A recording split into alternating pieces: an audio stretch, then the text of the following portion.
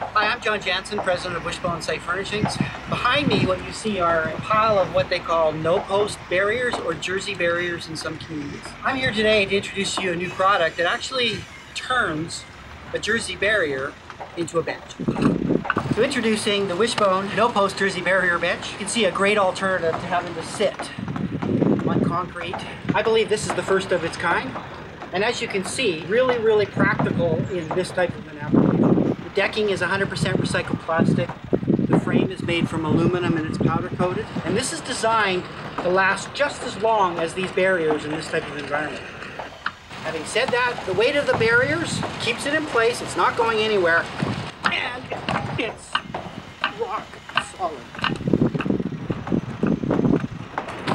And there's no way by jumping or it doesn't matter how many people that you put on this bench is it going to topple over. Thank you for taking the time to watch this video. If you want to learn more about this product, don't hesitate to visit our website at wishboneltd.com and you'll find this product proudly displayed under the site furniture banner in the benches section.